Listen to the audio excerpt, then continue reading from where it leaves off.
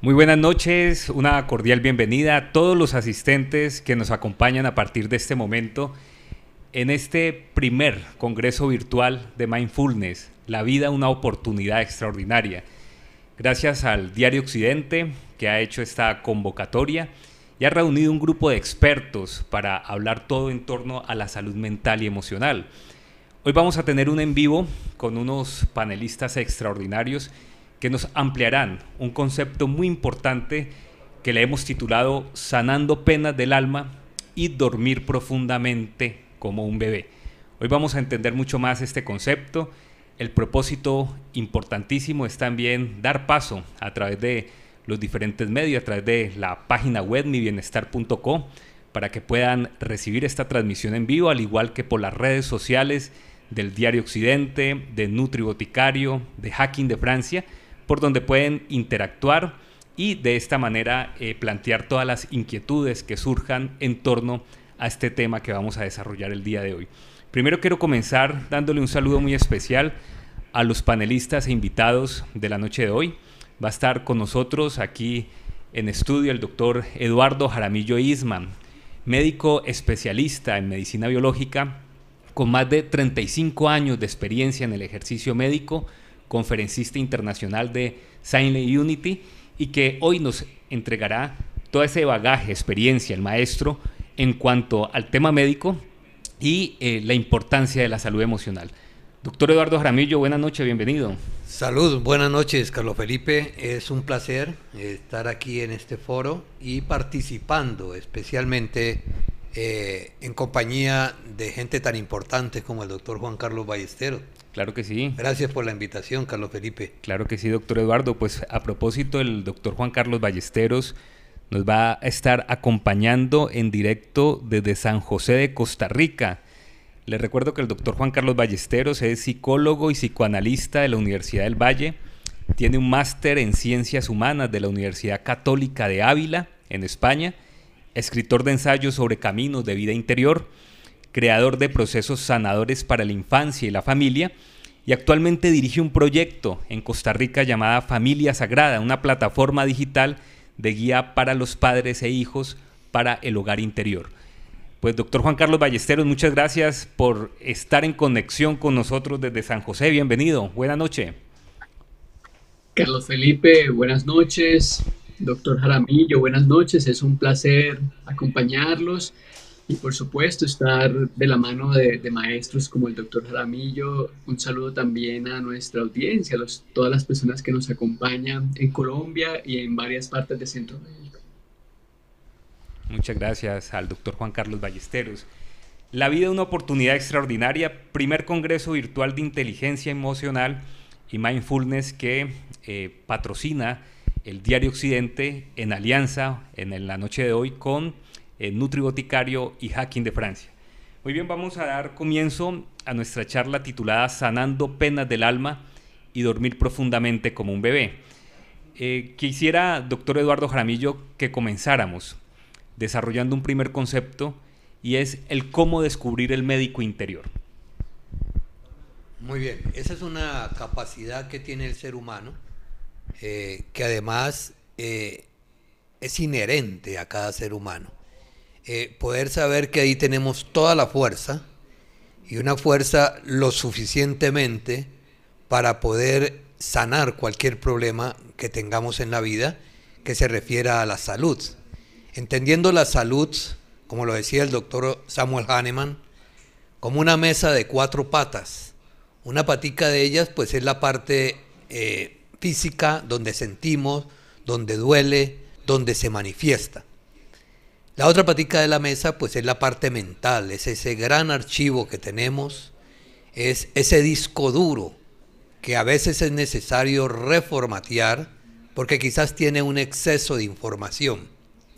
Y entonces esto repercute mm, definitivamente en otra patica de la mesa, que es la parte emocional. Es decir, nos comportamos de acuerdo a ese archivo que tenemos ahí, a todo lo aprendido y todo lo aprehendido que está como tinta indeleble allí y que además no somos muy conscientes a veces de lo que está pasando con nuestras emociones.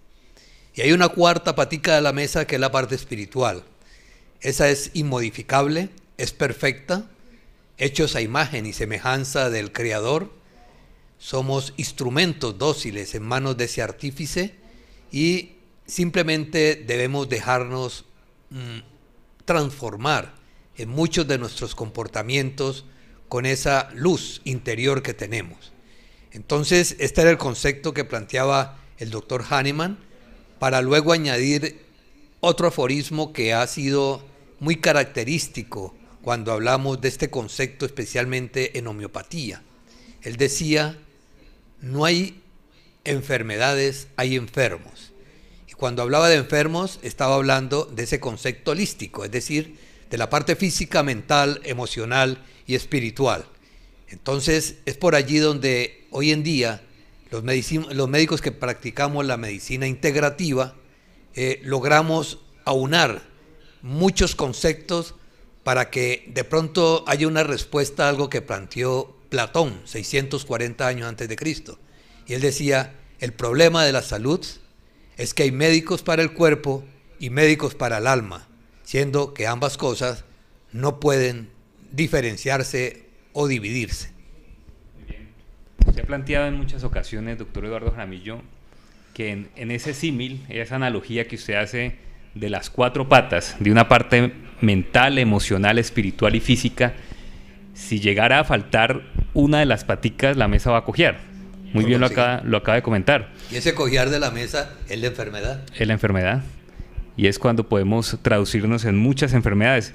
Es por esa razón, doctor Eduardo Jaramillo, que muchas eh, vivencias que ocurren de situaciones traumáticas, donde la persona por la pérdida de un ser querido, sobre todo en esta etapa que actualmente atravesamos mundialmente, eh, o tal vez por eh, alguna situación que genere un alto impacto emocional, se puede traducir fácilmente en una enfermedad. y eso, y eso hace parte del concepto de medicina integrativa. Lógico, y en medicina hemos hablado mucho del efecto psicosomático. El efecto psicosomático es esa proyección que hacemos de tensiones acumuladas, situaciones no resueltas, acumulación de adrenalina y de cortisol, que en algún momento hacen aparición en un órgano, es decir, se proyectan allí como válvula de escape. Por eso es tan importante saber cuál es el antecedente de un ser humano que hoy en día está viviendo una situación difícil de salud física. Es fundamental saber qué ha pasado con su vida. Y como lo decía Freud, pues el más del 70% de la problemática del ser humano parte de lo que sucedió en los primeros siete años de vida. Es decir, desde el momento del parto hasta los siete años, porque eso que sucedió allí marca muchísimo en la personalidad, en el temperamento de un sujeto. Es importantísimo entonces hacer eh, ese inventario de lo que pasó en esa época y en otras épocas de la vida, pero hay que comenzar por allí. Es saber qué pasó con mi alma de niño, porque eso trasciende profundamente y tiene mucho que ver con la salud integral de un sujeto. Sí, señor. Pues hoy vamos a plantear, eh, aparte de esa gran introducción que nos brinda el doctor Eduardo Jaramillo, entender y conocer algo que son las llamadas etapas del duelo. En este concepto de las etapas del duelo es importante mm, hacer una, un análisis de cómo eh, socialmente, incluso de manera inconsciente, nos hemos eh, enfrentado eh, a una situación, como lo es el caso de, de, la pandemia misma, del confinamiento, nos hemos enfrentado a una situación que nos hace enfrentar a una serie de actitudes, de sentimientos y de emociones que muchas veces está fuera del manejo y del resorte de nuestras capacidades. Y eso tiene que ver con las etapas del duelo. Lo que pasa muchas veces en hogar, con nuestros niños, con nosotros mismos, es de alguna manera las vivencias de esta etapa, que finalmente eh, en algunas personas, por su capacidad de resiliencia, por sus experiencias, pueden ser mucho más rápidas de, de transitar o mucho más fáciles de manejar.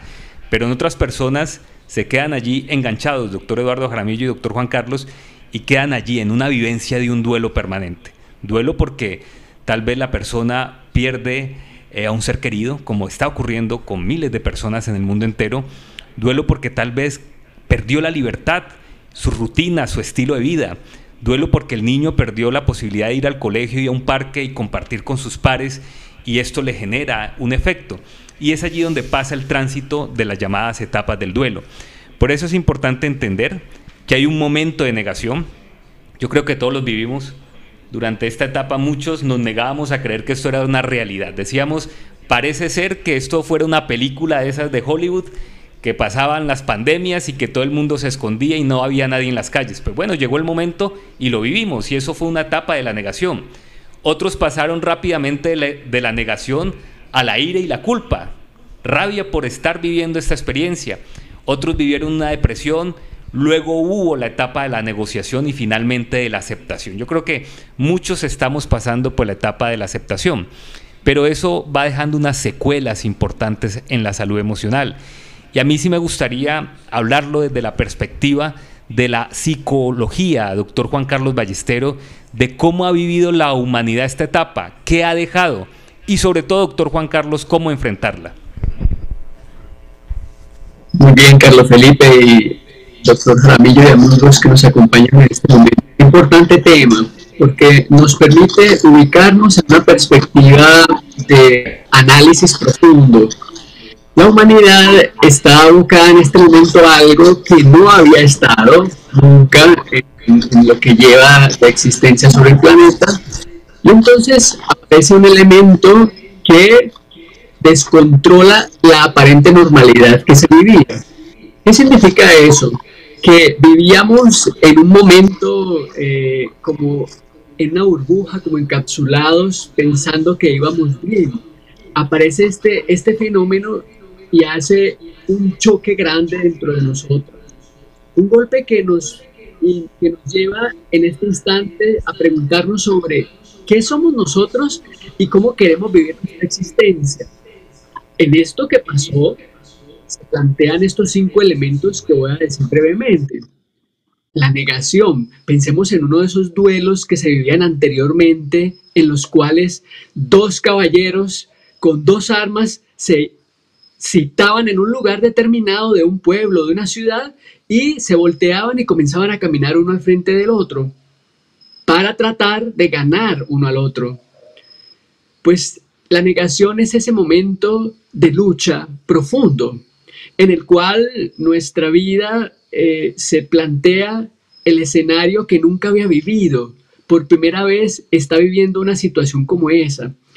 Y bueno, yo he tenido la oportunidad de visitar prisioneros en África, en Latinoamérica, y este es el episodio más dramático para un ser humano, que llegue a un estado tan fuerte que lo confronte, pero aquí viene un elemento de culpabilidad muy fuerte, en el cual esta persona que cae en una desgracia piensa que no fue justo, que hay algo que no funcionó, pero inmediatamente dentro de su ser comienza a ver ese duelo, esa situación de batalla interior que le implica una condición bastante compleja. Porque no sabe dónde está finalmente en ese instante. Es como si estuviese en un limbo. Y ahí es donde aparece la ira, efectivamente, como esa imposibilidad de devolver el tiempo. La gente finalmente quisiera devolver el tiempo para reparar. Ya no hay tiempo de reparar. Ya ha pasado. Y entonces entra desde el punto de vista mental en este proceso de ira profunda en la cual tira todo lo que tiene a su mano para que la vida comience a darle la oportunidad nuevamente, pero ya no hay oportunidad. Ya lo que hizo, se hizo. Y allí viene una confrontación interior muy fuerte que le impide precisamente construir una vida en armonía consigo mismo. Y entonces en ese preciso momento llega el instante de la depresión, es decir, una construcción de un estado del ánimo negativo que va a implicar pues un, bajón emocional muy fuerte. Este es el estado más delicado, por eso está en la mitad. Un bajón emocional que le imposibilita construir una vida diferente. Ahí está, ni para adelante ni para atrás. Y luego, por un acto bastante fuerte que veremos más adelante, su vida se comienza a transformar. Ya pasa de esa depresión a una negociación, efectivamente, como se menciona allí, y comienza a plantearse, bueno, ya estoy en esta situación, ya estoy en este estado del ánimo y quisiera entonces construir una vida diferente. Allí comienza algo muy bonito para el ser humano que yo llamo una maravillosa desgracia. Una desgracia porque ha pasado lo que ha pasado, pero ya no hay nada que hacer, vamos hacia adelante. Una maravilla entonces porque nos permite aceptarlo y en el momento que hay la aceptación, nos construimos diferente, hacemos de nosotros un ser nuevo. Hemos pasado en, estos cinco, en estas cinco etapas por algo que es la maravillosa desgracia. Afortunadamente pasó, pero cuando estamos adentro hay situaciones emocionales bastante complejas. Claro que, es así, Juan, y, es una explicación clara de lo que son las famosas etapas del duelo. Eh, y que, vuelvo y reitero, de alguna manera de unos lo pasamos más rápido o más largo que otros hay que prestar atención a la salud emocional de nuestros niños. En esta situación, doctor Eduardo, se ha protegido a una población que por temas de salud es la más vulnerable, que es el adulto mayor, y es un concepto que en este momento eh, tiene una estadística mundial de que está representado allí en la población adulto mayor el mayor eh, índice de mortalidad, pero dentro de las políticas gubernamentales olvidamos de lo que pasa con la salud emocional con los niños. Este tema del cierre masivo de, las, de los colegios, de las escuelas, eh, de cambiar unas rutinas. Yo siempre he dicho, qué pereza ser niño en este momento.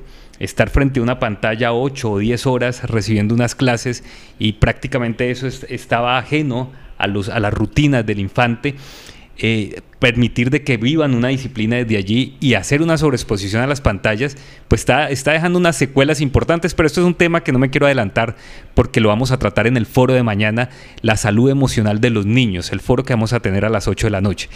Hoy vamos a hacer un planteamiento de cómo superar los duelos, cómo superar las penas del alma con estrategias muy prácticas de realizar con el acompañamiento profesional desde la parte médica, psicológica, pero desde la práctica en casa, de cómo ustedes pueden ayudarse con muchos de los elementos que hoy queremos brindarles dentro de las recomendaciones y el concepto mismo de la medicina biológica. Hablemos entonces rápidamente de algunas recomendaciones que se hacen en, la, en el momento de la negación.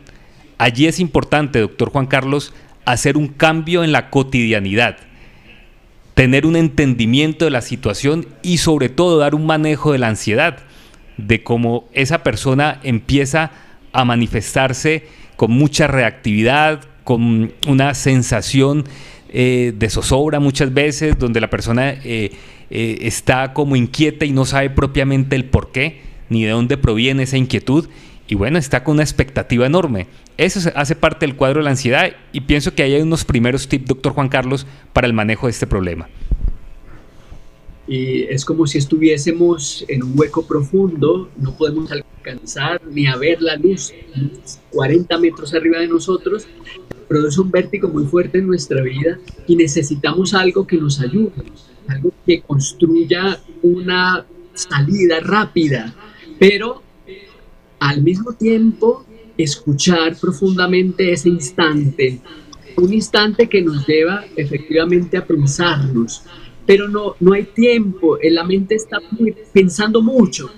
Cuando la mente piensa tanto, hay que quitarla. Y precisamente para la ansiedad tenemos varios elementos que nos pueden ayudar en ese instante donde se piensa tanto, por lo menos a tratar de saber que estamos en ese hueco, que estamos en ese momento casi claustrofóbico, no podemos salir de nosotros, la ansiedad nos sobrepasa, el mar, las olas son de 20 metros y nos tapan completamente. ¿Qué hacer en ese instante? Quietud. Pero para esa quietud necesitamos algo que nos ayude también, que nos ayude a, a vernos, a construir una vida diferente, no hay tiempo para pensarlo, yo insisto en eso, los pensamientos son el mayor enemigo en ese instante y entonces esa ansiedad que viene tan fuerte en nosotros necesita de un acompañamiento especial y para eso eh, la medicina natural tiene unos acompañamientos magníficos que nos permiten precisamente llevar de la mano una vida diferente. Recordemos que es como si estuviésemos siendo acompañados. Bueno, pues hay que ser muy buenos amigos de nosotros mismos, que lo hablaremos más adelante, para poder identificar ese proceso tan fuerte que habita dentro de nosotros y en el cual mucha gente se queda. Hay que decirlo en este momento, no para causar alarma, pero mucha gente se va a quedar en ese instante. Ojalá las personas que nos estén viendo en este momento paren un momento de pensar tanto y puedan empezar a trabajar esa negación. El primer paso, la negación. Primeras recomendaciones, cambios en la cotidianidad, entendimiento de la situación, como lo dice Juan Carlos, hacer una pausa, hacer un alto y hacer un manejo de la ansiedad. Ahí ponemos un primer recomendado y es el ansiojón. Yo creo que de esto vamos a hablar más adelante, doctor Eduardo Jaramillo. Hay un segundo elemento que tiene que ver con la ira o la culpa. Es importantísimo el acompañamiento familiar. Empezar a aferrarse de elementos esperanzadores y sobre todo dormir muy bien. ¿Por qué hay que dormir bien, doctor Eduardo? Bueno, porque la fase reparadora que tiene el sueño no es posible conseguirla de otra manera. Es decir, eh, tal como lo llaman los orientales, la alcoba debe ser un lugar eh, muy bien dispuesto, donde estemos absolutamente tranquilos. La vida moderna hace que la gente meta televisores en la habitación, muchos aparatos electrónicos, que por cierto mm, dan muchas cargas iónicas positivas que acidifican el organismo. Entonces, realmente al acidificar hay un daño, un cambio en la homeostasis, porque un organismo debe estar ligeramente alcalino. Entonces, proporcionarnos un buen ambiente en la habitación para que haya un sueño reparador, para que se cumplan las fases del sueño, la fase REM y no REM. Si recordamos la gráfica de un electroencefalograma, vamos a ver que por la curva hay fases muy profundas y fases muy superficiales. Es como una ola permanente que sucede durante la noche. Y para que sea reparador tiene que ser de esa manera. Hasta ahora pues hemos utilizado eh, en estos problemas de, del insomnio pues los psicofármacos, los himnoinductores, que son una especie de masazo químico que lo que dan es un sueño lineal y ni mucho menos hay reparación.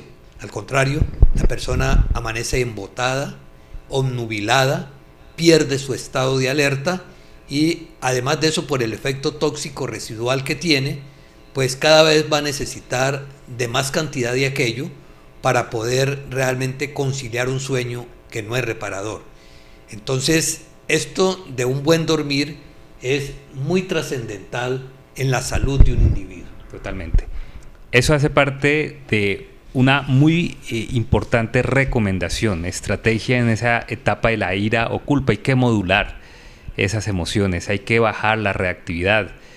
Es allí muchas veces donde se toman las decisiones más incorrectas, porque son decisiones emocionales, no racionales. Y por eso es importante recuperar y optimizar esos ciclos del sueño, sobre todo un sueño profundo y reparador, como bien lo refiere el doctor Eduardo Jaramillo.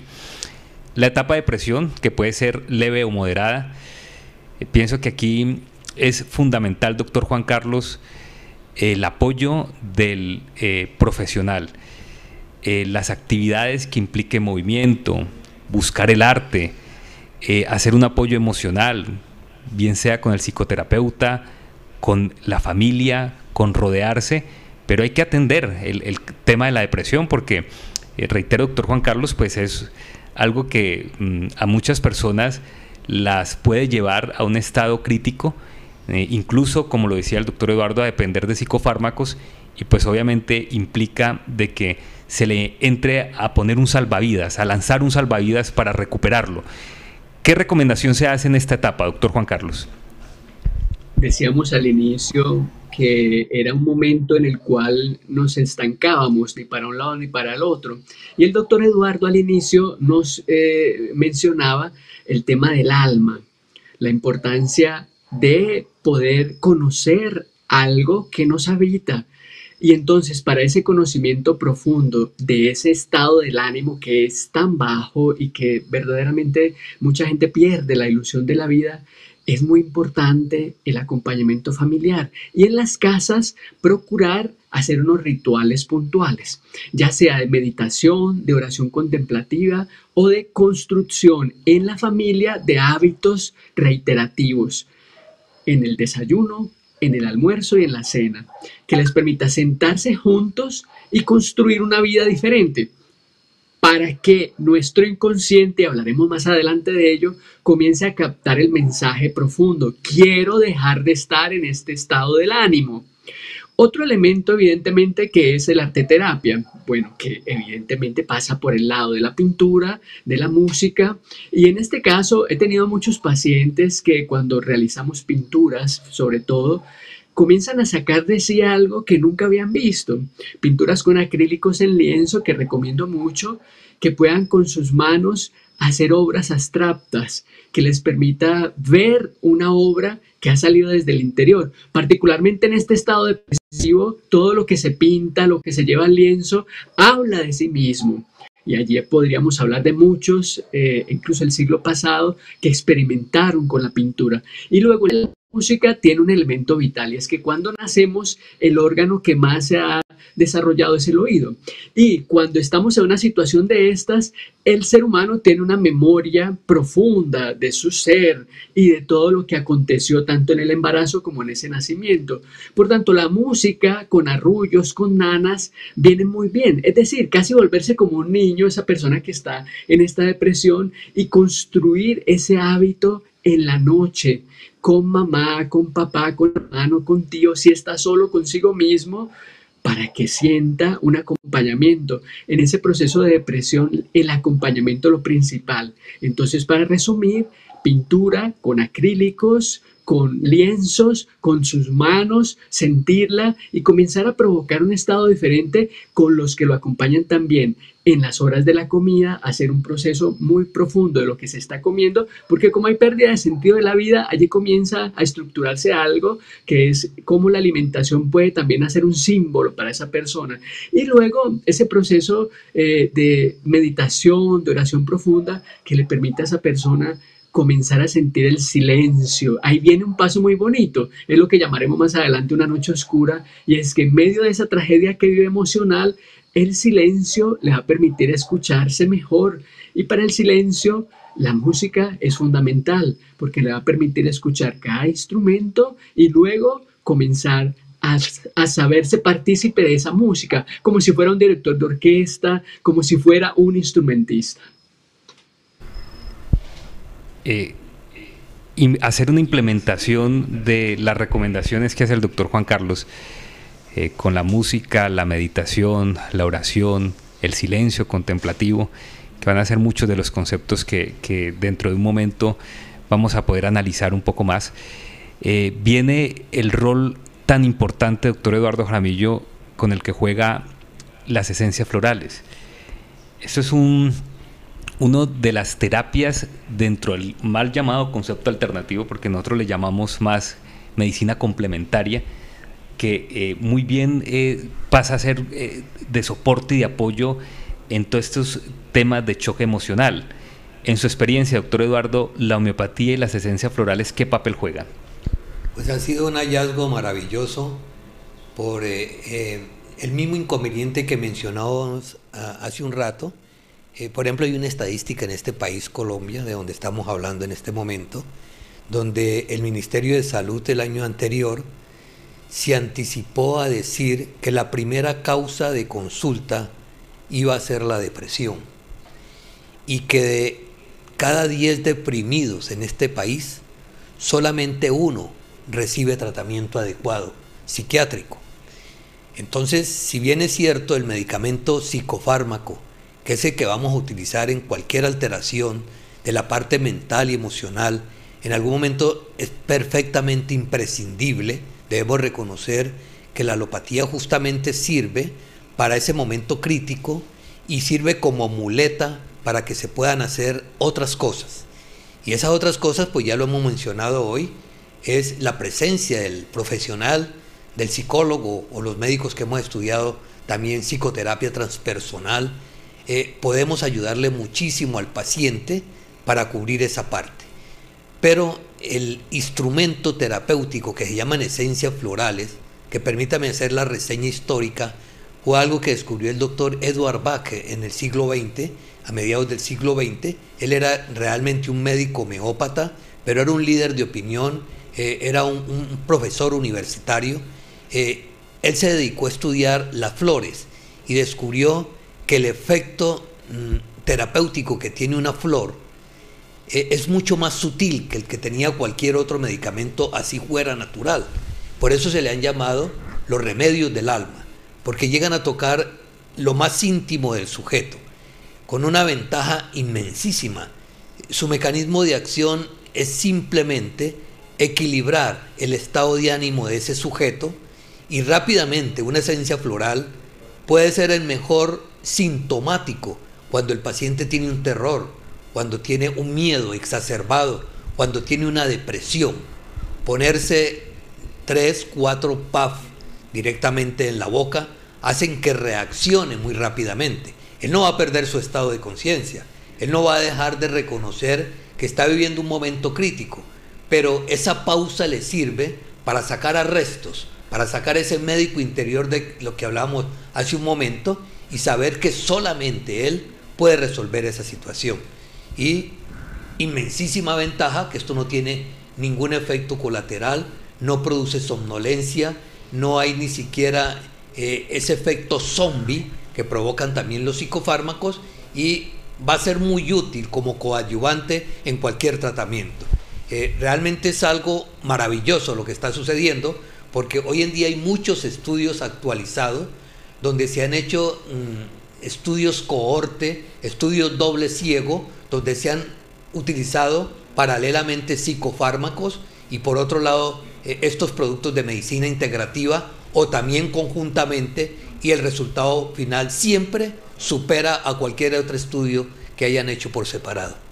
Correcto. Ese es el papel que juega la medicina biológica y, las esencias florales en el acompañamiento de todo lo que hoy se está planteando, doctor Eduardo Jaramillo, de, los cambios de rutina, de lo que podemos hacer en casa, del apoyo emocional, del apoyo psicoterapéutico.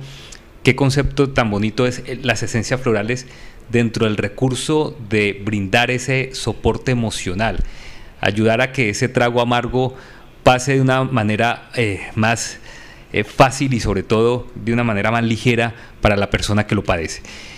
Eh, otro punto de, de, las etapas del duelo, la negociación. muchas veces esta etapa de la negociación cursa con la idea por parte de la persona de que ya resolvió, bueno, al menos ya tiene el propósito de que en sus pensamientos resolvió y tal vez todavía allí la pena lo esté agobiando mental y emocionalmente.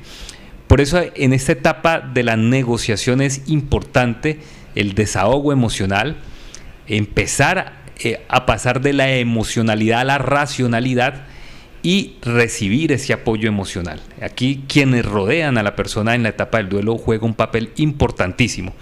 Y por último está la aceptación, doctor Juan Carlos Ballestero, que tiene que ver con ese desapego a lo que estamos tan aferrados. Desapego tal vez a esa persona que ya no está, desapego a ese trabajo que ya no tenemos, desapego a esa rutina y estilo de vida que antes teníamos. Y allí es donde empieza el verdadero crecimiento personal y es desde donde nace de parte nuestra el dar mucho afecto. Qué importante es la aceptación, doctor Juan Carlos, porque es la etapa de crecimiento eh, personal, de crecimiento espiritual.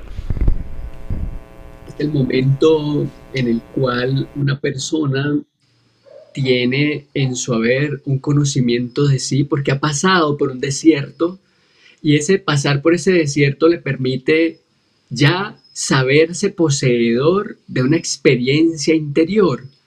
Y en el momento que esa experiencia interior comienza a hacer eco dentro de sí, se comienza a aceptar su vida, lo que es y lo que vino a ser en este planeta.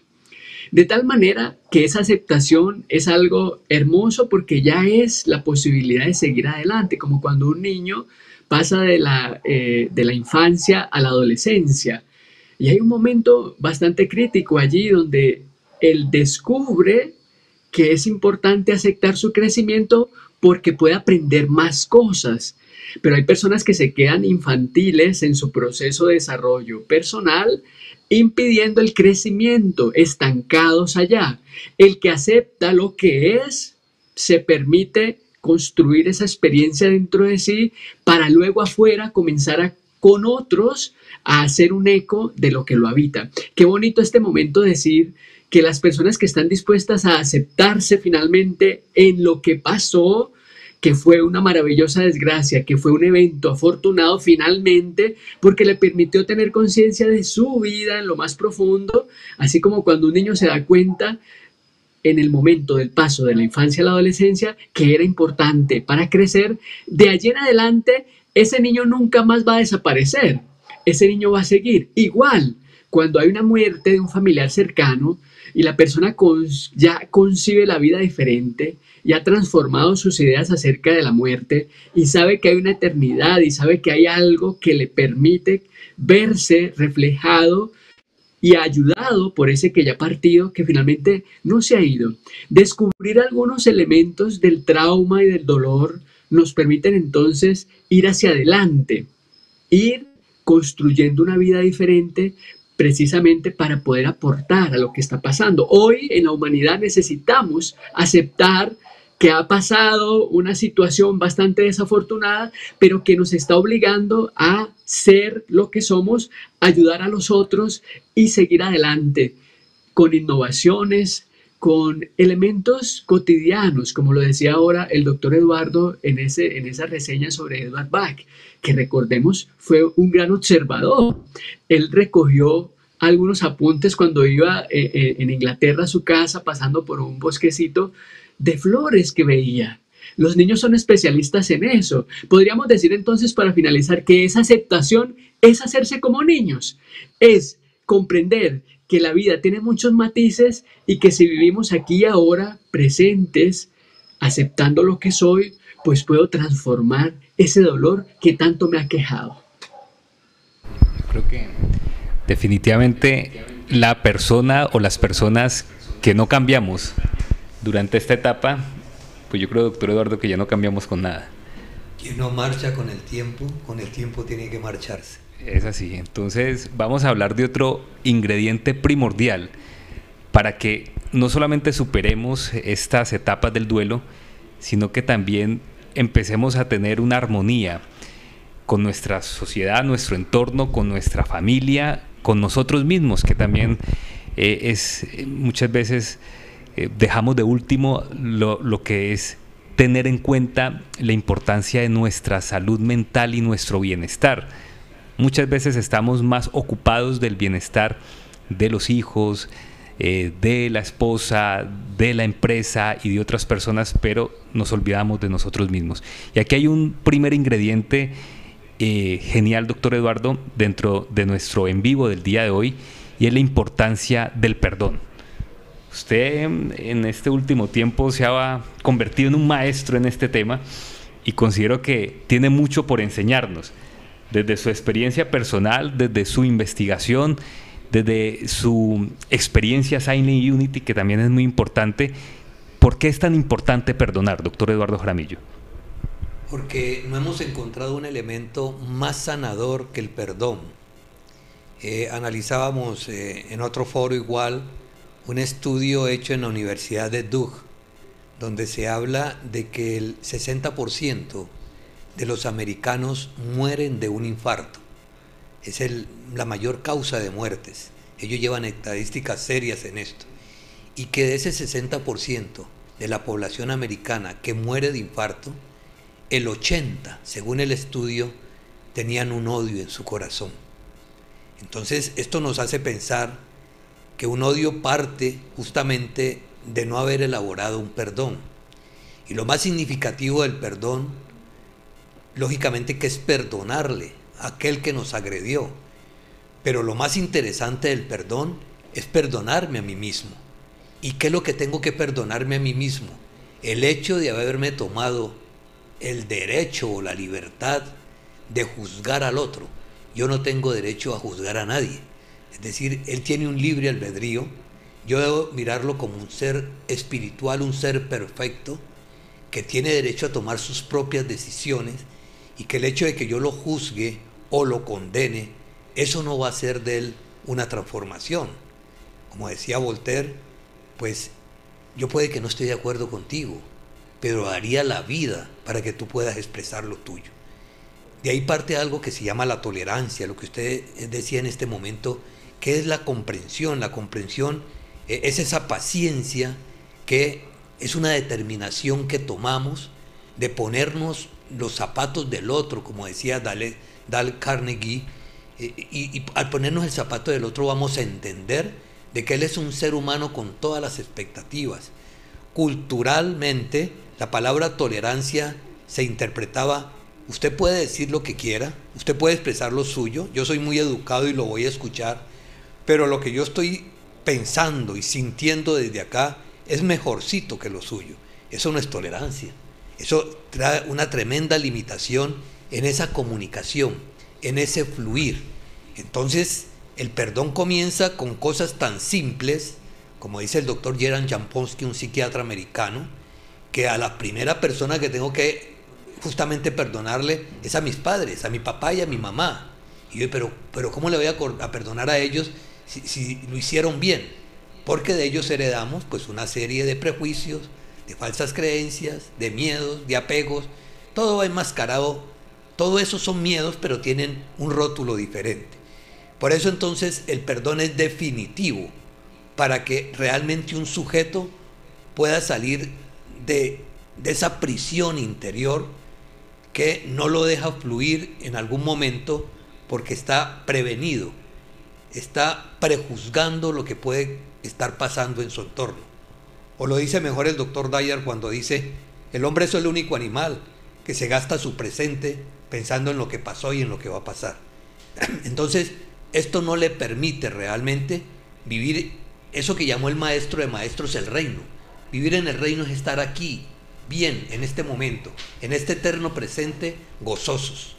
Y al estar gozosos, pues estamos cumpliendo además el propósito que tuvo el gran hacedor del universo cuando nos hizo, y es que fuéramos felices. Toda enfermedad fue primero un pensamiento.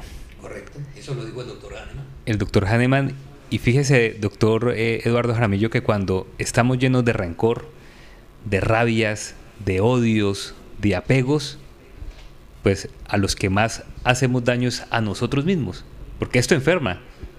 Y esto finalmente va a dejar una secuela en la persona y nos hace sufrir y nos hace perder el sueño y todo lo que hemos tratado en, en la noche de hoy. Entonces, perdonar al otro, perdonarnos a nosotros mismos, incluso es un buen negocio para la salud. Excelente negocio, porque es que la repercusión que eso tiene es eh, muy constructiva. Eh, pongámonos en la situación de que yo esté odiando a algo o a alguien por alguna experiencia pasada.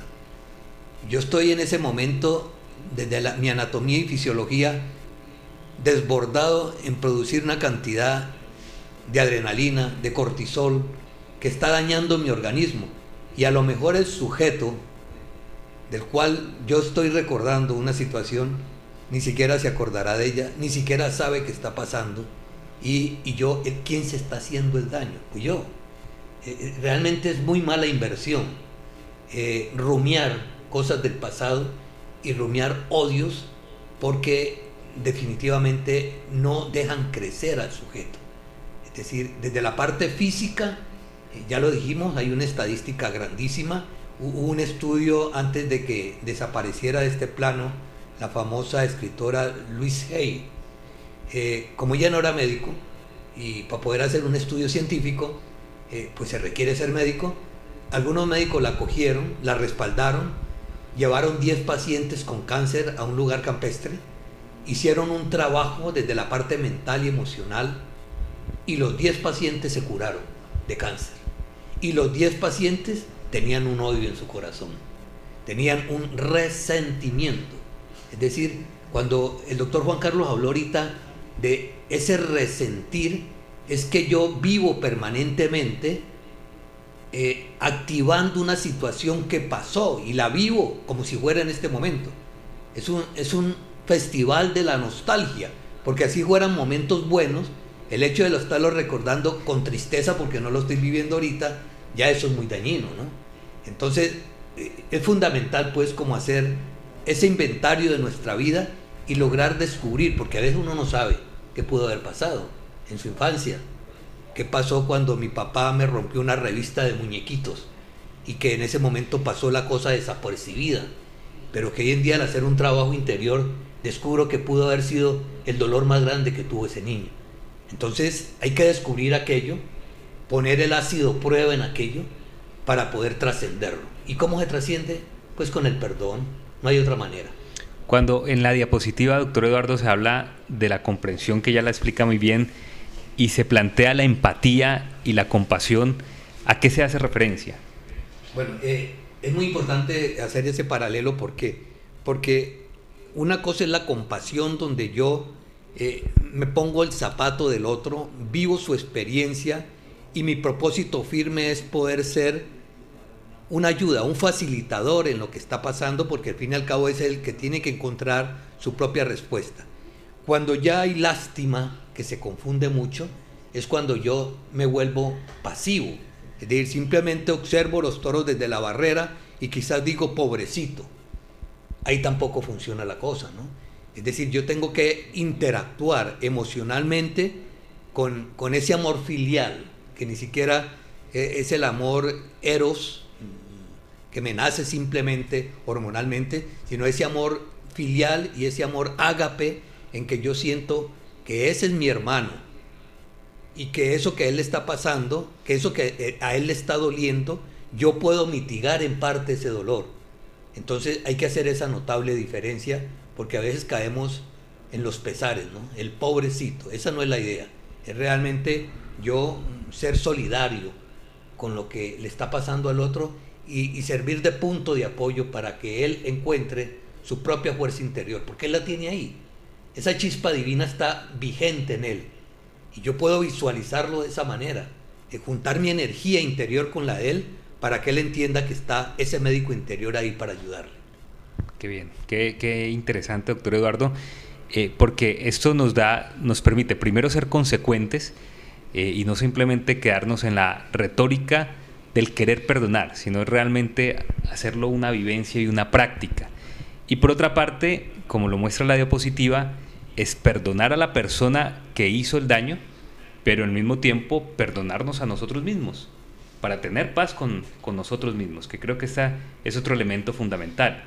De nada nos sirve, doctor Eduardo, perdonar al otro y no a nosotros mismos, porque de alguna manera el inconsciente siente que hay una culpa y una participación eh, dentro del proceso. Y aquí pasa una diapositiva, doctor Eduardo, muy importante y es el cómo se perdona. Hay cinco elementos allí interesantes que usted incluso lo planteó en su charla del día de ayer en, en el Congreso virtual, donde hay que encontrar el valor del perdón, hay que reconocer los errores que hemos cometido.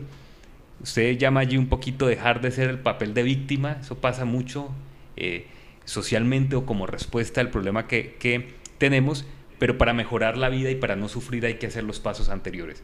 Entonces, ¿cómo se perdona, doctor Eduardo? Bueno, antes que nada es quitar de medio lo que habíamos dicho, eh, eso del resentimiento, pues es decir, la gente dice es que yo le perdono pero no olvido, pues ahí no está haciendo absolutamente nada, porque permanentemente va a estar en un disco rayado, eh, remembrando todo lo que pasó allí, y cada vez que lo recuerde va a sentir igualito y va a hacer el mismo daño. E, esa memoria pues está ahí en tecnicolor y en sonido estereofónico, es decir, no, no vamos a olvidar lo que pasó. Yo lo que puedo quitar de medio es ese resentimiento, resentir en algo que dolió mucho.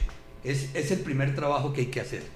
Cuando hablamos de perdón, mm, la primera connotación que yo le doy al perdón es que es un regalo.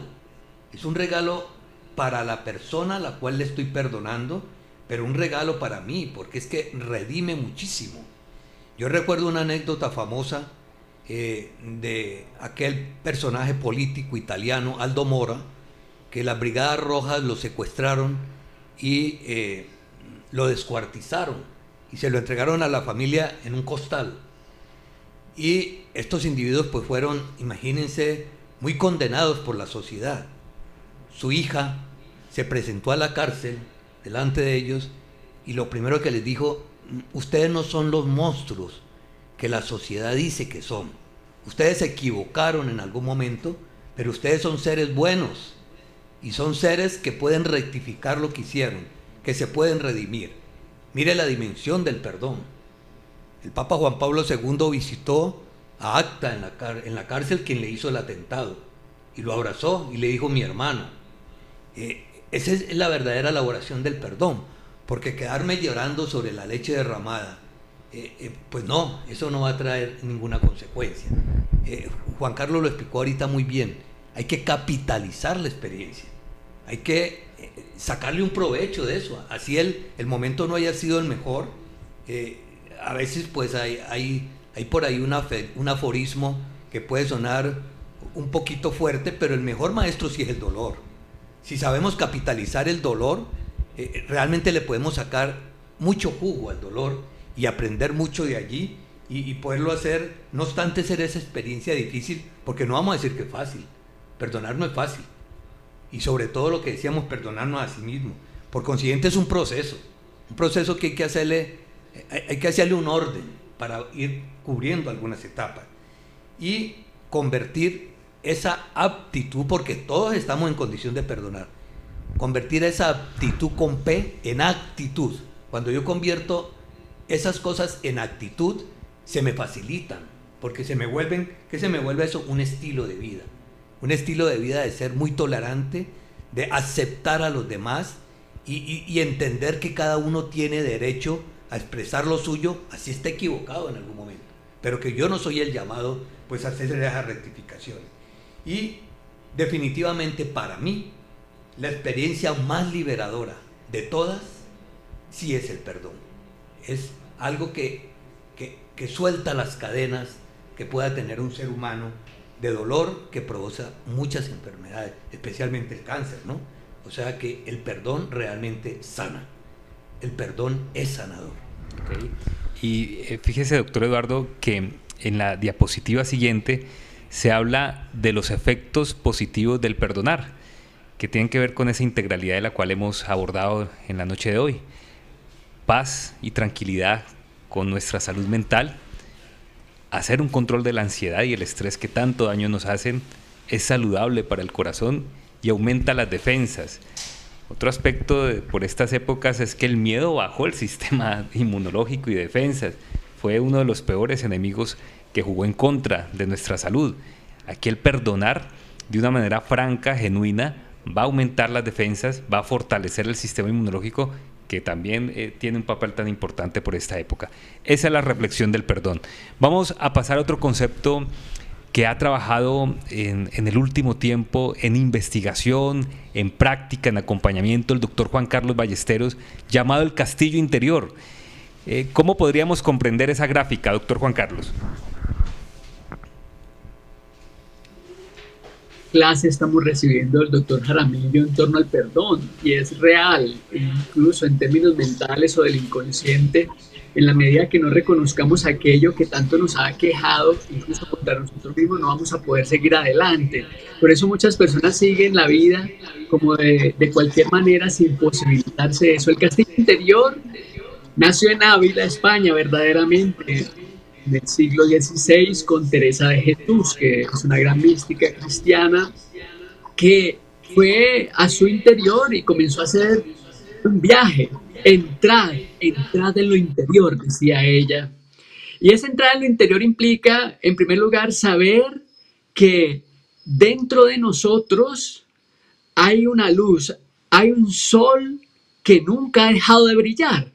Y en, esta, y en esta circunstancia, si hay un sol dentro de nosotros que nunca ha dejado de brillar, entonces cuando llega una situación difícil, ¿qué pasa con ese sol? No deja de estar allí el sol, siempre nos ilumina por dentro. Cuando recobramos conciencia de lo que somos, entonces descubrimos esa luz que nos habita. En esta gráfica que vemos del castillo interior, tiene siete habitaciones y estas siete habitaciones son como un camino. Voy a tratar de sintetizarlo lo que más pueda para que la gente se vaya con algo en las manos, como dice el doctor Jaramillo, para que no se vaya sin nada esta noche. Pues miremos en la, parte eh, inferior derecha vemos como una entrada. Allí en esa entrada podemos ver a un hombre, una mujer, a un ser que está en una habitación lleno de muchas situaciones, de miedos, de dudas, de frustraciones, de debilidades, de miserias. Y en esa habitación comienza a darse cuenta que hay algo que no funciona, incluyendo aquellos rencores que van a llevar a la falta de perdón más adelante, que van a imposibilitar, como bien lo dice el doctor Jaramillo, que esa persona crezca y se ilumine, digamos, todos porque tenemos una luz adentro, somos habitados, habitados por lo eterno. Pues efectivamente, luego de ese momento en el cual nosotros sabemos que estamos habitados y que hay una luz dentro de nosotros, pasamos a una segunda habitación que vemos exactamente en la parte inferior en el centro, que ya estamos acompañados. Y es que nos descubrimos que nuestra vida nunca ha estado sola. Por eso cuando a los niños les enseñan a rezar muy tempranamente el ángel de la guarda, no es cualquier oración, es una oración mística Ángel de la guarda, no me desampares ni de noche ni de día. ¿Por qué un psicoanalista y un psicólogo dice estas palabras? Pues porque trabajo en el interior y todo lo que se le dice a un niño pequeño obedece precisamente a aquello que más adelante va a tomar como herramientas para su vida, a hacerse un conocimiento profundo de sí mismo. El segundo elemento entonces tiene que ver es, esto que hay allí, esta habitación, nos implica que necesitamos saber que hay otros conmigo. Es como un buen amigo, como saber que, que alguien me acompaña, que alguien está conmigo y que ese alguien siempre ha estado con su luz, una luz que resplandece y que nos permite cuando despertamos a ella descubrir cuáles son nuestros talentos, nuestras habilidades y para que Luego vemos como un barquito en la parte izquierda eh, en el centro, hay como un barquito acompañados de ese ser que nos dimos cuenta que nos habitaba. Entonces, ese, ese es muy bonito porque es descubrir que la humildad es andar en verdad. Por tanto, la verdad nos hace libres para amar. ¿Qué quiere decir eso? Que cuando nos adentramos a un proceso tan profundo como el que propone el doctor Jaramillo, pues ir al interior implicará reconocer que no estamos bien, parecía que estábamos bien. Y llega esta pandemia y nos dice, no, no estás bien, planeta. No estás bien. Es, es, una metáfora igual a lo que vivimos dentro de nosotros. No estamos bien. Despierta. Tú que nos estás escuchando, despierta a tu verdad. Esa verdad te va a hacer libre para amar. Este tercer momento, entonces, que vemos allí esa barquita, es despertar a la humildad, que es andar en verdad. ¿Qué quiere decir? Construir una vida genuina y auténtica, que es la posibilidad que tenemos nosotros como seres humanos de ir un poco más allá. Ahí vemos un poquito más arriba, en la parte superior, como una fuente, como una fuentecita en la cual ya esos dos personajes que caminan juntos, ya nos sabemos acompañados, pues descanso en ti. Ahí es muy importante los que tienen relación de pareja, o los que tienen relación de comunidad, sea donde sea que vivan, o los que están solos con una experiencia del interior, que reconozcan que no somos capaces solos, que necesitamos a otros siempre, siempre, siempre. Y ese otro es el que nos va a acompañar a descubrir ah, qué bien se siente cuando estamos con otro, qué bien se siente cuando el otro nos comprende pues puntualmente lo que somos. Y luego vemos un poco más arriba, en todo el centro, en la parte de arriba, en la parte superior, en el centro, vemos algo como una mariposa. Es la transformación de la que hablaremos ahorita en un momento. Es cuando ya me he dado cuenta de eso, pues yo verdaderamente busco que mi vida sea transformada. Es como eh, el gusano, descubrimos nuestra vida en lo más ayepto, en lo más bajo, en lo más oscuro, y queremos transformarlo para que nos hagamos tan bellos como somos en nuestro interior. Esa luz que estaba brillando ya nos permite revelarnos un poquito. Es esa unión con esa voluntad. Solas estas dos nos pide el Señor, dice Teresa de Jesús su majestad y el prójimo. ¿Qué quiere decir eso en términos de la salud mental y el inconsciente? El inconsciente opera como esa majestad, como eso que nos habita. Y el prójimo efectivamente es ese en el que nos, en el que nos reflejamos. Tú, yo soy tú.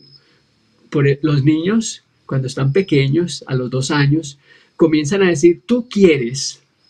Y es algo hermosísimo, es un hallazgo increíble. Tú quieres. Es ese en lo que más adelante debemos volver hacernos como niños. En ese tú, en tú, Carlos Felipe, en tú, doctor Jaramillo, que es el otro que me acompaña y que se ve muy claramente allí.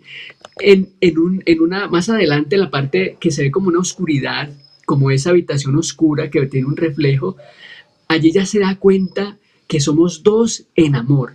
Al abrir los ojos, son luz en la oscuridad. Es un bello momento que viven muchas personas que pasan por situaciones dramáticas, personas secuestradas, personas prisioneras, personas que han superado un cáncer, como lo ha mencionado el doctor Jaramillo, personas que han estado en un tránsito dificilísimo, pues la persona puede vivir experiencias profundas a través de la presencia del otro que nos acompaña, de esa persona que ya viene haciendo camino con nosotros. Allí nos deja un poquitín solos para que aparezca nuestra verdadera esencia. Y en el centro de este castillo vemos dos personas rodeadas de mucha gente. Es finalmente ese momento hermoso donde nos damos cuenta que en la vida estamos para servir y para ser libres. ¿Qué es el libres? El perdón, como lo dice el doctor Jaramillo. El reconocernos seres únicos e irrepetibles, pero también el reconocer que esa luz nunca ha dejado de brillar. ¿Por qué es importante la luz que no deja de brillar y por qué es importante saber que estamos habitados? Porque solamente en ese instante podemos disfrutar de nuestra vida, no antes. ¿Qué quiere decir esto? Que no estábamos bien, que estamos muy mal y que es importante ir al interior para construir eso que verdaderamente somos en libertad y dedicarnos a, a amar, ¿Qué significa amar?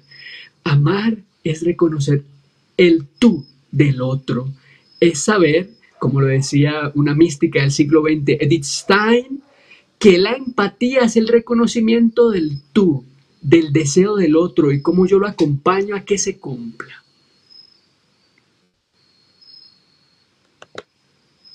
Doctor Juan Carlos, de los pasos para sanación y, y plenitud. Hablemos de un paso número uno, rápidamente, doctor Juan Carlos, y es el conocimiento propio, el valor de la amistad y la filantropía. ¿A qué se refiere ese primer paso en ese, en ese proceso de sanación? Qué bonito que hemos emparejado, eh, eh, encadenado esto de esta manera. Pues ese yo le llamo el amanecer interior y es el despertar al interior habitado. Yo esto lo relaciono con el continente africano. Porque ellos, eh, cuando tuve la oportunidad de estar allá visitándolos, tanto en Tanzania como en Kenia, me daba cuenta de algo muy bonito. Y es que esos tres elementos que acabamos de nombrar, el conocimiento propio, el valor de la amistad y la filantropía, ah, dan cuenta de aquello conocimiento propio para el cuidado de nosotros. Saber qué embarazo tuvo nuestra madre, cómo nacimos, la comunicación consigo mismo, y con los otros, la relación con los padres y la familia y la historia de la confraternidad. Allí se encierra un poco ese amanecer interior. Pensemos que estamos despertando muy despuntada la mañana, ya llegando a las 6 de la mañana en Colombia, que, que en ese momento, 5 y 30. Bueno, lo digo en términos un poco coloquiales, aclarar para los abuelos que me entienden perfectamente. Pues resulta que es ese instante, amanecer interior. Por fin nos damos cuenta de quién somos comenzamos a, lo que veíamos ahora en el castillo interior, a saber que tenemos una vida con muchos problemas, miedos, frustraciones, etcétera, pero que también tenemos un conocimiento del otro que nos acompaña, los amigos, la historia de los amigos, y que también tenemos unos padres que han vivido con nosotros, como lo decía el doctor Jaramillo, perdonar los padres es lo primero y amarlos profundamente así hayan pasado al reino de los cielos en la, en la vida que, que, viviremos también. Pues esos elementos nos van a permitir a nosotros desde adentro comenzar un proceso de sanación. Paso uno entonces para un proceso de sanación, amanecer interior, conocimiento propio para el cuidado a través de quienes han sido nuestros amigos. Y ojo con esto que es muy importante. Todo aquel que te encuentras y se, y se vuelve un amigo, pues es un tesoro para tu vida y tienes que saber desde dónde vino esa amistad. Por eso el recuento de nuestros amigos es muy importante. Y la filantropía efectivamente que tiene que ver con esa confraternidad, como en ese primer momento que estoy lleno de oscuridades, pues puedo compartir con otros. Carlos, el amor familiar y la transformación.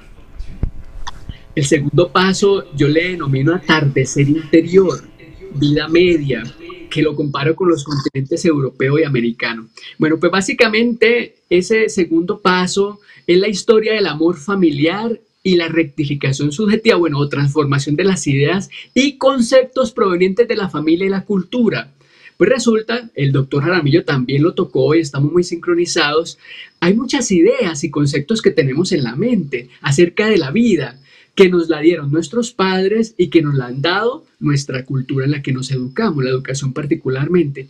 Pues la mayoría de eso hay que transformarlo y hay que transformarlo para ser nosotros mismos. Es decir, atardecer interior cuando ya estamos al mediodía, vemos un poco mejor y entonces nos damos cuenta que nuestra historia necesita rectificarse, necesita construirse de otra manera ir a la historia del amor familiar, rastrear el amor familiar.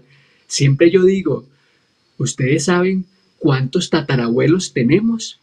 No lo sabemos. 16. ¿Saben el nombre de ellos? No lo sabemos. Pues trata de buscar la mayor cantidad posible de personas que han estado antes de ti porque en ellos está la historia del amor ese amor familiar que tanto nos ayuda. Y bueno, esa transformación tiene que ver con lo que veíamos en esa quinta habitación, que es la mariposa, que comienza ya en esa tarde resplandeciente a saber de su belleza, a saberse habitado y en ese atardecer interior como segundo paso a comenzar la transformación.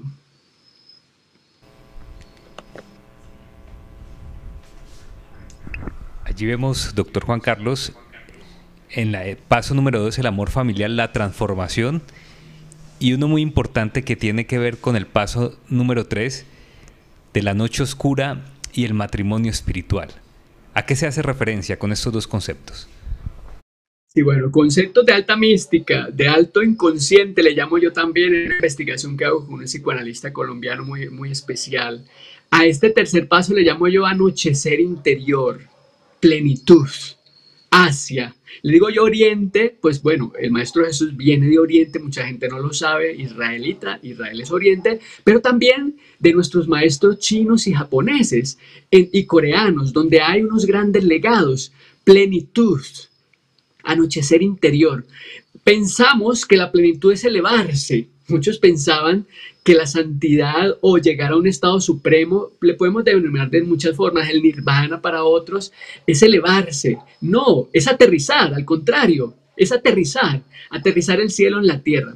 Bueno, solo en la oscuridad podemos ver mejor la luz. En la adversidad más grande comenzamos a darnos cuenta de lo que somos verdaderamente. Por eso esta pandemia es tan maravillosa, porque nos está llevando a reconocernos en lo que somos, en el descubrimiento de sabernos adyectos y sublimes, de, saber nuestras oscuridades, nuestras barbaridades interiores, de poderlo reconocer. Por eso el Padre nuestro dice, no nos dejes caer en tentación. ¿Cuál es la tentación? Pues alejarnos de la sabiduría, van a decir los filósofos anteriores a Jesús, de la sabiduría, de ese proceso profundo del conocimiento interior que nos va a llevar a pensar en varias escuelas como los estoicos y los epicúreos. Bueno, descubrirnos prisioneros entonces de múltiples cosas que nos tienen atrapados. Allí llega la madrugada, todo es más claro. Entonces, esa noche oscura es el momento donde ya es la noche alta, digamos 12 de la noche, una donde, oye, estamos en la oscuridad, pero ya tenemos una luz, que es esa, esa habitación que veíamos allí como un poco oscura, pero también con luz, pues nos volvemos uno con el creador. Qué bonito esto. Bueno, el creador, el hacedor, el dueño del universo, Dios, como le quieren llamar, resulta que el fin de todo es volvernos uno con Él. ¿Y qué es volvernos uno con Él? Comprender quiénes somos y para qué estamos aquí. Parece fácil, pero no lo es, es todo un camino. Bueno, es la unión mística, es como si eh, cae agua, lluvia al mar. Se unen y ya no saben quién es lluvia ni qué es el mar solo fluyen juntos y se dedican al servicio y a compartir lo aprendido, que es lo que estamos haciendo esta noche. Bueno, podríamos decir que esta noche es un matrimonio espiritual entre los que estamos hablando y entre los que nos escuchan. Quizá los que nos escuchan, o mejor, seguramente los que nos escuchan saben más que nosotros, porque nos están escuchando. Escuchar, siempre lo hablo con los niños pequeños y lo digo en, en cinco idiomas diferentes, escuchar es la clave de este matrimonio espiritual. Por eso digo, los que nos escuchan son más privilegiados que nosotros. No el que habla, el que escucha. Se dedican al servicio. ¿Qué significa eso? Carlos Felipe y doctor Eduardo, que solamente cuando llegamos a esa plenitud, no nos alejamos de la gente como piensan muchos, ni nos vamos para un templo por allá en una montaña, no, nos enfrentamos a la vida real.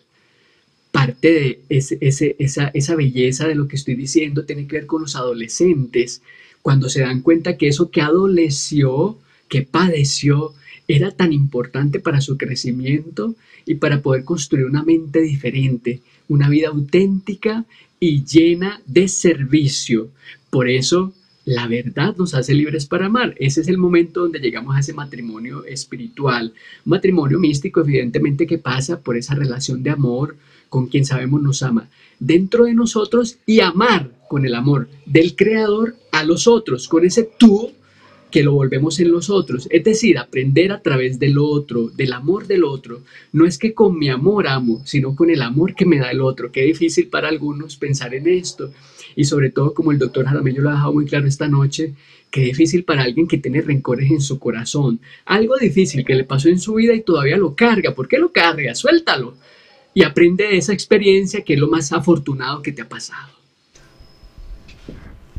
En esta época, doctor Juan Carlos, que tenemos un distanciamiento social, como le llaman técnicamente, pues antes que nada eh, recordamos que somos seres gregarios, que es menester estar en comunidad, que tenemos que interactuar con los demás, así tengamos pensamientos distintos, así estemos mirando en otras direcciones, pero que al fin y al cabo esa interacción es fundamental para poder crecer irme para el Tíbet y meterme en un monasterio, pues requiere de mucha vocación y a lo mejor llego a ser muy feliz en una soledad. Pero el común denominador de los seres humanos, estamos en ese diseño eh, del Creador para que podamos interactuar y para que podamos hacer esa manifestación tan simple que es el amor, tan simple y tan sublime, ¿no?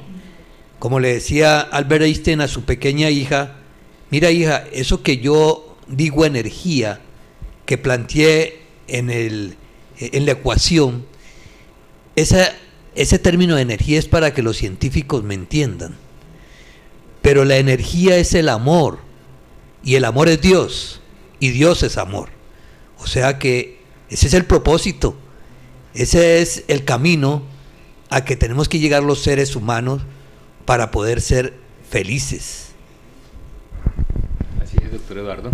Ese es el propósito y aquí hemos recopilado eh, cuáles son esos pasos tan importantes para la sanación, para llegar a esa plenitud tan anhelada y para hacer un poco una retrospección de lo que pasa con nosotros mismos y también cómo lo podemos llevar a la práctica, que es tan importante para sentir ese bienestar, esa armonía con nuestro entorno.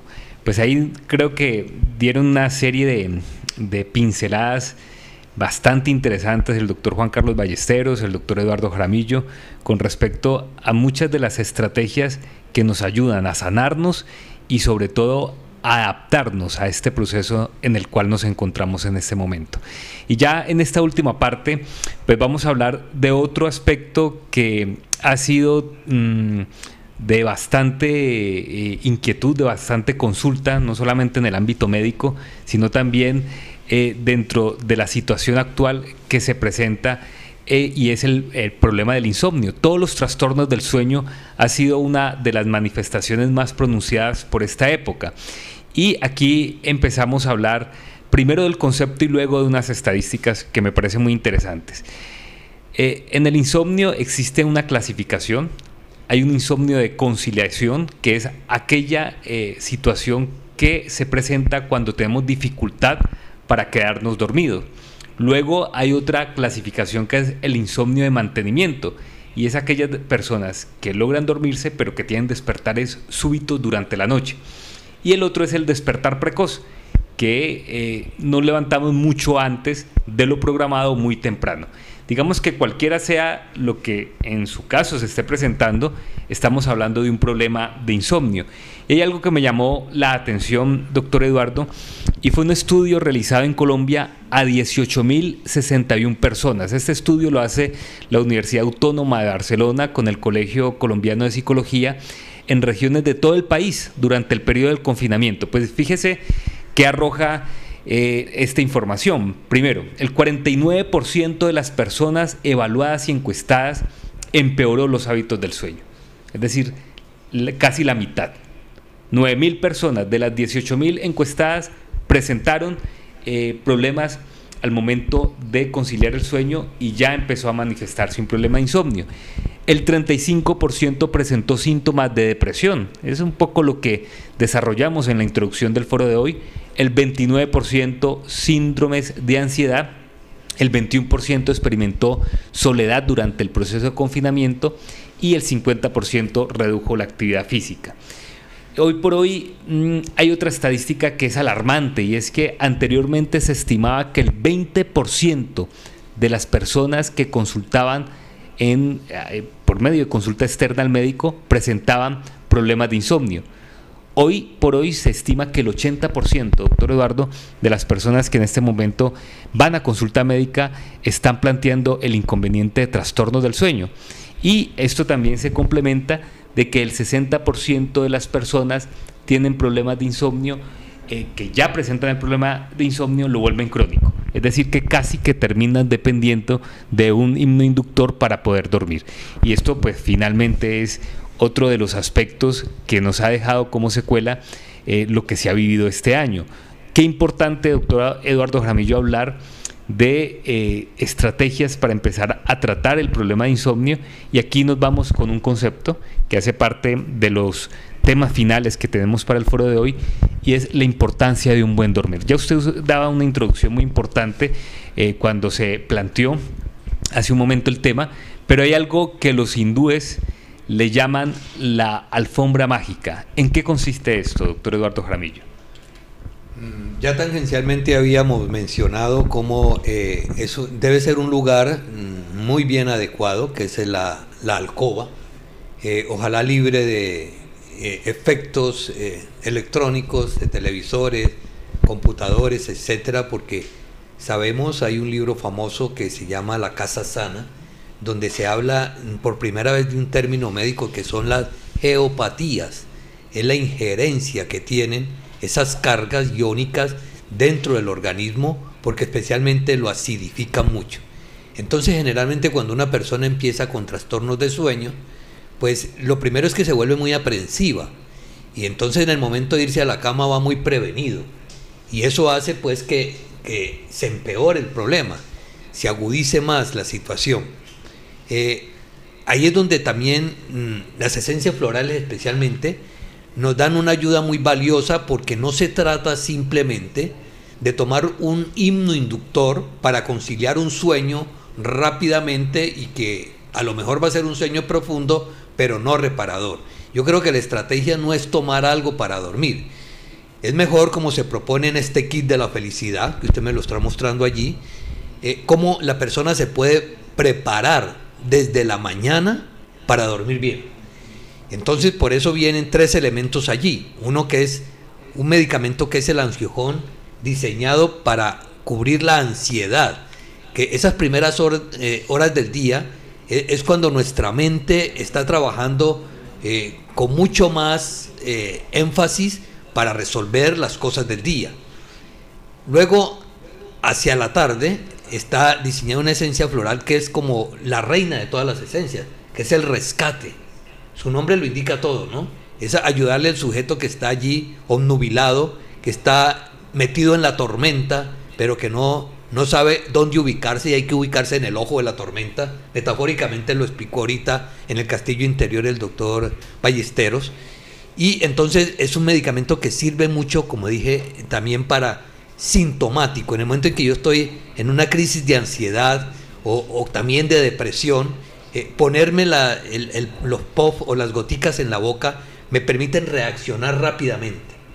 Y hacia las horas de la tarde, pues ya hay un medicamento que es el Somniaquin, que me va a ayudar a conciliar un sueño tranquilo, reparador, respetando una cosa que llama el ritmo nictameral, que es esas fases del sueño que deben ocurrir profundas y no tan profundas para que realmente se cumpla el objetivo del sueño.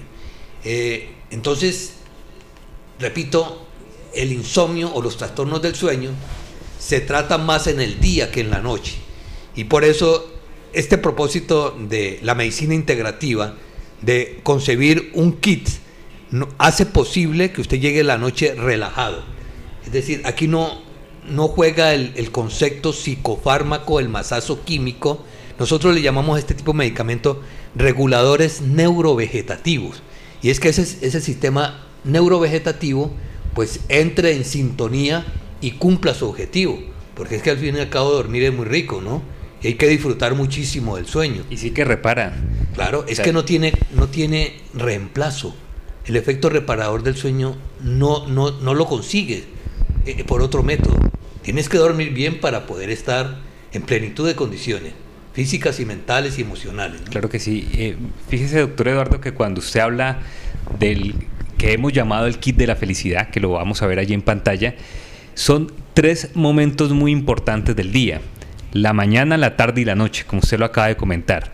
La mañana generalmente tiene consigo eh, el momento del día donde mayor expectativa tenemos. Y cuando una persona es ansiosa, pues con mayor razón, porque la persona eh, está inquieta, eh, finalmente está muchas veces con la expectativa de lo que va a ocurrir durante el día, eh, no sabe si le va a ir bien en la entrevista, no sabe si a sus hijos les va a ir bien en el colegio, está con el temor de que pueda presentarse una situación adversa, de que si está en la calle pues hay inseguridad. Bueno, hay tantos factores que pueden estar reales y en la cabeza que generan ansiedad. Allí es importante en la mañana trabajar con el ansiojón. La tarde es muy importante, como el remedio lo indica, el rescate. El rescate es sacar del fango y de esa situación nostálgica a la persona. La estadística es muy clara, doctor Eduardo, en afirmar de que el mayor número de suicidios en el mundo ocurre al final de la tarde. Y esto ocurre porque finalmente hay un cambio hormonal. Es donde empieza la producción de melatonina, donde el organismo se prepara para recibir la noche y para dormir, pero es allí también donde cambian las emociones y los sentimientos. La persona se siente un poco eh, nostálgica y remembra aquellos recuerdos y es donde entra la Tusa, que usted es experto en Tusa.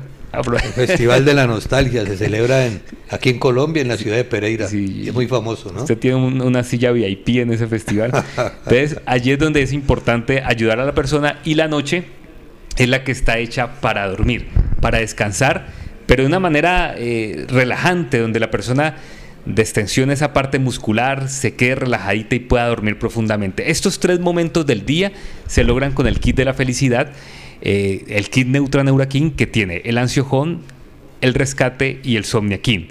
Hay otro concepto maravilloso, doctor Eduardo Jaramillo, y es eh, un recurso que también se ha hablado en las etapas del duelo llamado depresionus y duelos. Es un concepto muy nuevo eh, que tiene Hacking de Francia que entraría a ser una de las estrategias más importantes eh, para eh, todo lo que sea el acompañamiento. Si bien es cierto, toda esta parte requiere un apoyo profesional y un rodear en familia. Este concepto de las esencias florales, doctor Eduardo, juegan un papel muy importante. Háblenos rápido de su experiencia con este otro recurso de esencia floral llamado depresión y duelos. Bueno, ya habíamos hablado que las esencias florales fueron investigación del doctor Edward Bach y eh, eran 39 esencias o 39 curadores iniciales. En los tiempos modernos y en este concepto de, medicina integrativa, pues se hace una selección o mejor una sinergia de esos remedios eh, florales que tienen mejor tropismo en cada necesidad. Entonces podemos ver en este producto que, que es el, eh, el, de depresión justamente, la presencia de una esencia que es el pino. El pino tiene que ver eh, justamente con esa intolerancia, es decir, que ya hablábamos ahora, es que yo tengo que aceptar a los otros y a las circunstancias como tal. Está el mímulo, que es un medicamento que tiene la propiedad de dar mucha valor, mucha fuerza, sacar arrestos y saber que yo soy el que puede resolver mi problema. El manzano silvestre, que es uno de los medicamentos más famosos, es el que tiene que ver con la aceptación, que ya hablábamos también en las fases que mencionó el doctor Ballestero. Yo tengo que, primero que todo, aceptar las cosas para poderles hacer fuerte. Y la estrella de Belén, que es quizás el más famoso de todas las esencias florales, es el que tiene que ver con el consuelo. Entonces, es una sinergia de medicamentos muy bien lograda, porque todos tienen un tropismo muy selectivo en esa primera causa de consulta que es la depresión y en el principal factor desencadenante del suicidio es la depresión. Sí, correcto. Entonces, qué bueno poder trabajar de esta manera sin necesidad de los famosos antidepresivos que por cierto se vuelven muy refractarios, es decir, al principio el paciente eh, responde con pequeñas dosis, pero en la medida en que va pasando el tiempo tiene que ir aumentando y luego le ponen dos antidepresivos y tres antidepresivos y al final ninguno funciona. Entonces, eh, por eso el problema eh, sanitario como tal no se ha podido resolver. Son simplemente paliativos. Y nosotros desde esta orilla presentamos soluciones muy prácticas. Así haya que tomarlos paralelos, no hay interacción. Así tenga que tomar el antidepresivo, usted puede estar tomando esta esencia floral que es para la depresión sin ningún problema. Claro que sí, bueno, ahí hacemos dos planteamientos para la noche de hoy, el que le hemos llamado el kit de la felicidad y el eh, depresiones y duelos, es otra esencia floral de soporte, de apoyo, de acompañamiento durante estas etapas eh, que también incluso puede ser apto para los niños, para nuestros abuelos. Los abuelos también han tenido una etapa de duelo, doctor Eduardo, estar enclaustrados, encerrados tal vez muchas veces sin las condiciones idóneas para, hacerlo, es otro motivo de afectación emocional y creo que allí el, concepto de depresión y duelos es un buen acompañamiento. Tal vez no sea lo único, hoy hemos hablado eh, de una multiplicidad de herramientas que tenemos desde la psicoterapia, desde la parte médica, desde el apoyo emocional, social, que entran a jugar un papel tan importante, pero yo creo que esta integralidad de conceptos es lo que nos puede llevar a brindarnos un mejor bienestar. Bueno, yo, yo pienso que hoy hemos dado pues varios recursos, doctor Eduardo, y elementos que van a ser de apoyo muy importantes.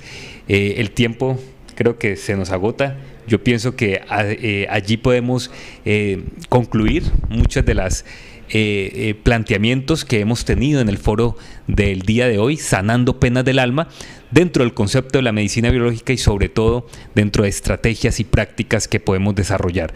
Todas las inquietudes que queden lo pueden hacer a través de Nutriboticario, es nuestra farmacia virtual aliada. Pueden ampliar información en www.nutriboticario.com hay un número WhatsApp donde ustedes pueden eh, ampliar información, inquietudes de todos los conceptos que hoy hemos desarrollado, el 316-526-3746 para los que se encuentran en Colombia. Y hay un teléfono fijo que también eh, a partir de mañana pueden llamar también a resolver cualquier inquietud. 524-9060 eh, ubicado en la ciudad de Cali. Eh, para las redes sociales nos pueden seguir a través del Facebook y de Instagram en nutriboticario y nutriboticario guion al piso. Ahí queda toda la información de nuestra farmacia virtual. Doctor Juan Carlos, eh, quiero agradecerle su aporte en la noche de hoy. Eh, me encantaría una reflexión final para brindarnos en este primer foro que hicimos el día de hoy y también aprovecharé hacer la invitación para el foro del día de mañana. Indudablemente que el sueño es la base de una vida productiva tanto a nivel cognitivo como laboral como académica, de tal manera que en la mañana, en la tarde, en la noche, como lo decimos en conjunto, tanto el amanecer interior, el atardecer interior, el anochecer interior, con ansio, home, rescate y este elemento eh, en la noche son de aquí que nos permite construirnos paralelamente es decir, trabajar nuestro interior implica vernos en nuestra verdad y nuestra realidad. Y esta misma noche podemos hacer algo muy sencillo. Examinémonos en el amor antes de dormirnos. Y pongamos nuestro sueño en total disposición, porque si tenemos un sueño reparador, no ponemos al cerebro a trabajar en dos ocasiones. Primero el trabajo del día y después el trabajo de lo que no me puedo dormir. Y para mañana efectivamente que profundizaremos este tema de la emocionalidad y los niños con elementos bastante atractivos para que todos puedan tener unos niños sanos, prósperos y felices, semejando un poco las palabras del doctor Jaramillo, que hoy nos ha dado una cátedra sobre lo que significa una vida en abundancia interior. Entonces, para despedirnos, sueña profundamente. Quien ve afuera duerme y quien ve adentro despierta. Despertemos a esa luz que nos acompaña. Doctor Juan Carlos, muchísimas gracias por su aporte en la noche de hoy. Mañana nos espera un foro sobre la salud emocional en nuestros niños, que estará precisamente el doctor Juan Carlos Ballestero junto con la doctora Viviana Muriel hablándonos desde la nutrición. Doctor Eduardo Jaramillo, maestro de maestros, muchas gracias por su aporte en la noche de hoy.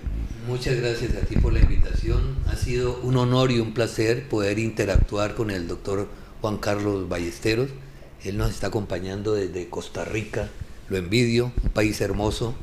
Eh, y bueno, le deseo los mejores para bienes. Quiero también hacer una conclusión, mi querido doctor Juan Carlos y Carlos Felipe. Eh, el mejor médico que ha pisado esta faz de la tierra ni siquiera fue a una escuela de medicina y utilizaba tres elementos. El primero, le preguntaba a quien le pedía sanación, ¿usted quiere? Es decir, le respetaba su libre albedrío, porque si no quiere, no, no va a pasar nada. Segundo, su fe, su fe lo sanó, no yo, su fe. Y tercero, pues no siga haciendo las mismas bobadas que venía haciendo porque vuelve y se enferma. Esas son las tres decisiones que tenemos que tomar los seres humanos para, como decía también el doctor Juan Carlos, estar sanos, felices y prósperos. Mente sana en cuerpo sano. Muchas gracias al doctor Eduardo, muchas gracias al Diario Occidente por abrir este espacio de inteligencia emocional, la vida una oportunidad, el mindfulness que se ha desarrollado durante esta semana y que mañana tendrá su último día con este extraordinario ciclo de conferencias. Con el patrocinio de Hacking de Francia, de Nutriboticario, queremos agradecerles a todos por permitirnos eh, estar en este espacio de reflexión, de intercambio de conceptos y sobre todo de que podamos llevar un aporte eh, a su hogar, a sus vidas y a la sanación de ustedes mismos. Una feliz noche para todos, Dios les bendiga.